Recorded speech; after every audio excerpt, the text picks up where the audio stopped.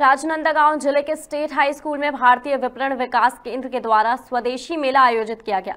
आयोजित स्वदेशी मेला में प्रदेश के उप मुख्यमंत्री अरुण साव भी शामिल हुए और मेले की रौनक देखी। वहीं मेले में आयोजित विविध कार्यक्रमों के दौरान उप मुख्यमंत्री अरुण साहू ने कहा कि स्वदेशी मेला का उद्देश्य भारत और छत्तीसगढ़ के स्वदेशी उत्पादों को बाज़ार में लाना और लोगों के बीच में प्रचलित करना है, जिससे कि देश के अंदर स्थापित स्वदेशी उद्योग फल फूल सके।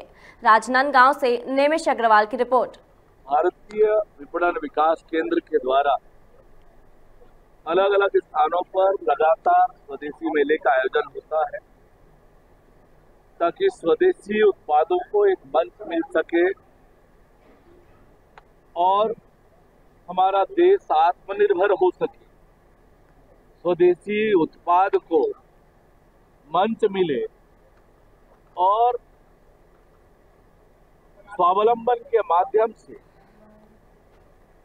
हमारे देश के जो उद्यमी है, वो आगे बढ़कर काम कर सके, इसलिए लगातार स्वदेशी मेले का आयोजन होता है।